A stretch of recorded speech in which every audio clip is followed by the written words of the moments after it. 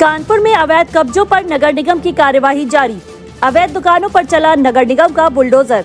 बजरिया चौराहे से लेकर बकर मंडी ढाल तक अभियान। नगर निगम के अधिकारी व परिवर्तन दल की टीम रही मौजूद।